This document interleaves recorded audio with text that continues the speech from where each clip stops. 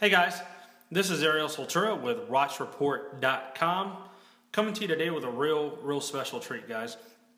Eterna KonTiki Automatic Chronograph. Now, again, Eterna is a name that we've heard for years on watch forums, and it's definitely a brand that's loved worldwide, but it is a brand that's seldom seen here in the States.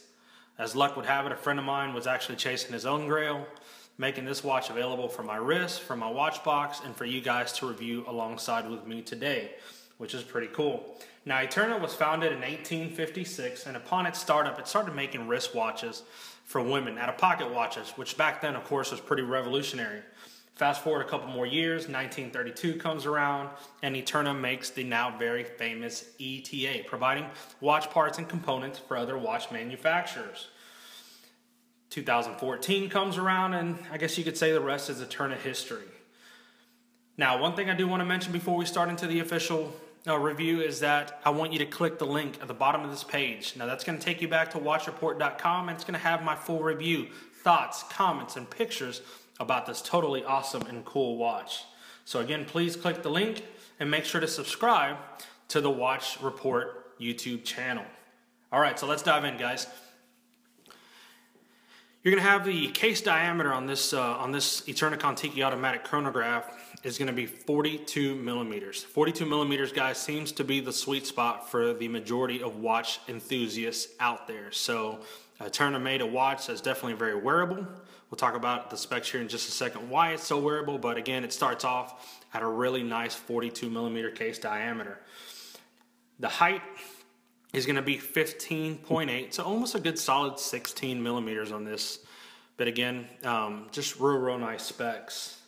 The lugs, Gonna be real happy about this. The lugs are 22 millimeters. So again, making it a dream come true for those that want to change straps, those that love changing straps as most, as most watch enthusiasts do. 47 millimeters, guys. 47 millimeters is going to be your lug to lug. Again, making it the sweet spot for the majority of wrists out there. Of course, this is the bracelet option. It does come with a, a calf strap option, uh, which is mostly going to be found in your black dialed uh, Eterna KonTiki automatic chronograph. Now the movement chosen for this one is an ETA, no surprise there, an ETA Calibre 7750, again chosen for its uh, capabilities, um, for, uh, for its chrono capability, excuse me. The crystal on this is uh, sapphire, we'll do anti-reflective coating. And uh, the retail price is $4,595 USD. So let's uh, capture the watch here in a couple of uh, different angles because one of the things that I love about this watch is that it has a lot of brushed and polished edges that refracts the light in the most uh, awesome of ways. Just a real uh, uh, awesome looking watch. It's clear, it's crisp, and uh, again, because of its light refraction, because of the both polished and brushed edges, you're going to get a watch that's going to definitely I say attract a lot of positive attention. Um, if you're a watch enthusiast, you're going to love it. If you're uh, somebody that, that isn't really a watch enthusiast, um, but just likes the look of watches, you're going to love this watch. This is definitely a watch for, um, I say a watch for all people. You'll see that the case does have the slightest lug curvature. Um, I definitely think that it's not anything that's going to make a real impact on its wearability um, because I think that's mostly due to the fact that it is 42 millimeters, that it is 47 millimeter lug to lug, that it has the 22 millimeter straps. That's going to add to its wearability. So um, you'll see at the case back, let me get a shot of it here. The case back does sit um, about even, just maybe slightly lower than the lug. So again, it's going to sit flat, uh, pretty flat on your wrist, guys. Um, and I think that again adds to its wearability. But the lug curvature, that slight lug curvature, isn't really making a big impact on that. Again, talking about the uh, the brushed and polished edges, you'll see that the case has a really nice brushed edge that meets up with another polished edge, and then um, another couple of uh, brushed right here where the uh, where the lugs are. Is brushed, and then it incorporates back into the uh, bezel, which is a high polish. Now, I think that this shares uh, aesthetically the look of two of my favorites, two of my personal grails, which is the Rolex Milgauss and the Omega Aquaterra. I, I, think it's it's while it's not in any way, shape, or form an imitation of either, um, it's not trying to look like either. I think it's just a sporty case uh, that aesthetically shares some of the same features, and, and I'm just fine with that. Again, those are two of my grails, but so is this. So definitely happy to have this one in the uh, in the watch box as I mentioned earlier. Let's uh, take it off of the pillow here, guys. If I can capture a couple more shots of it. See if I can extend it out for you guys there. Just a really beautiful watch, guys. Um, again, something that, that I can't get enough of, of looking, and I think that that if you're looking at this review, it's something that's definitely uh, captured your your um, your watch interest, and I think that it's definitely going to be a pleasure for you to own as well. Let me go ahead and show you the, the bracelet here. The bracelet does taper ever so slightly, and it comes into its Eterna fold over clasp. Um, it is one of the best clasps that I've owned. Uh, get it closing there a couple times. There it is, nice and secure.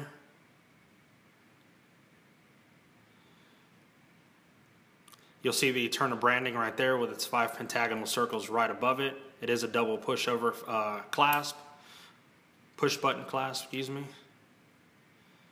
And the bracelet is a brushed bracelet. Let me unscrew the crown for you guys. This crown is a screw down crown, giving it its 200 meter water resistance. One of the things that I do mention uh, real briefly in the review, but it's something that I think is pretty nice, um, you'll notice that when I wind it in the opposite direction as I'm doing right now, it'll do a series of crisp clicks. Now it's kind of reminiscent of when I was a kid and I would go to the uh, to the wooden roller coaster here in Houston. Um, it used to be the um, uh, the highlight of the park, and I would love uh, riding it. And as as you're hitting uh, hitting the top, you would hear go click click, click, click, click, click, click, click, and you knew something good was coming, which was obviously the drop. Well, this does um, the same thing. I'll I'll be quiet here for just a second see if I can get it to come out on this on this video. Pretty loud and, and distinct, especially um, for this movement, but it's something that I, that I absolutely love. Let me take it out here in the time setting position. I'll give it a couple of nice uh, turns here so you can see the time setting function, a couple times in reverse. And I'll put it here at a time where I can set the date. Now the date, um, excuse me, the date, just the slightest flicker is going to set the date, guys. Watch this. Boom. Another date change. Another date change. Not a whole lot of uh, finger action needed for this. Date change, date change. Now you'll see the date is actually a bright white as opposed to Eterna's uh, cream colored dial. We'll talk about the dial here in just a second, but I just wanted to mention it since we're on the, uh, on the date setting function. Let me go ahead and screw it back down. There you go. We'll talk about the chrono features that are obviously set at the 2 and the 4.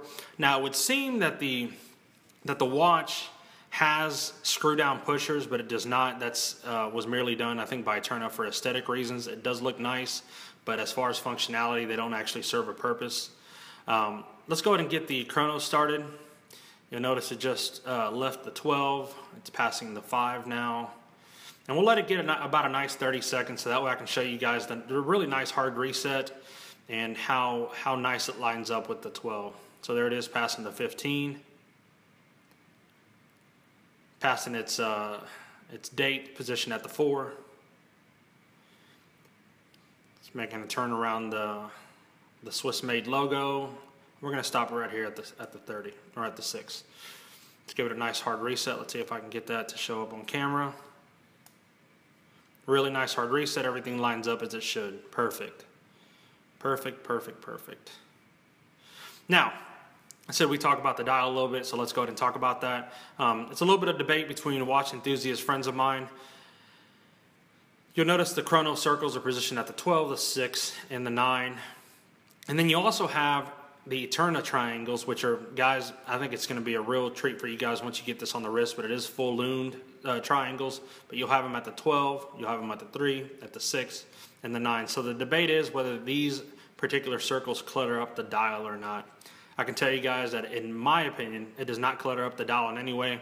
And of course, that a watch that hovers somewhere around the $5,000 mark uh, retail, it's definitely something that I like to see. I think it shows a lot of elegance, uh, it shows a lot of class, and uh, it is very unique. So again, it's something that I like to see, especially when one goes out and finds this watch uh, retail. So something that is uh, that is pretty pretty nice. The engine that just got everything started that keeps this this guy ticking is that Calibre 7750 that we talked about earlier. It does beat at 28,800 beats per hour, and it gives it a real nice, healthy 44-hour power reserve. So again, something that should last you the whole weekend, especially if you're definitely using it the way that you should. This should be um, a watch. I know it is for me that I wear quite often. Hardly ever leaves my wrist. And, uh, and so as far as the power reserve, I'm always uh, giving a little bit of power reserve back. So pretty, pretty nice. The case back, we'll mention it real briefly, but it is something that gives it its actual name, is the uh, Kontiki raft that Thor and his crew were able to use uh, during the expedition. And of course, what is a story without a happy ending? The guy ends up making it, and Guess what watch he's wearing? An Eterna. That's right, you guys guessed it. So I'll talk a little bit about how and why this was actually named the Kontiki and a little bit more about the expedition in my review. Again, guys, this is just a great watch that I believe is going to flow seamlessly with you. Um, you know, whether you're in the office and then you decide, hey, okay, I've had a tough day at the office, I'm going to go to the pool. And then after the pool, you're going to go out maybe to a nice pub or a nice speakeasy and, and kind of hang out or or really if you just want to hang out at the house with with your wife and and just watch TV. This is definitely a, um, a sporty case that's going to go with you wherever it is that you decide to go. And as far as the retail price, that 4595 I think that a real quick search, guys, is going to yield a lot of results that are going to make this watch um, a little bit more affordable than, than, than you might think it is. So, a really nice watch. Hope you enjoyed the review, but before I go, make sure again to click the link at the bottom of this page uh, so you can go to my full review and that you subscribe to the Watch Report YouTube channel. So this is Ariel Soultura signing off and see you next time on WatchReport.com.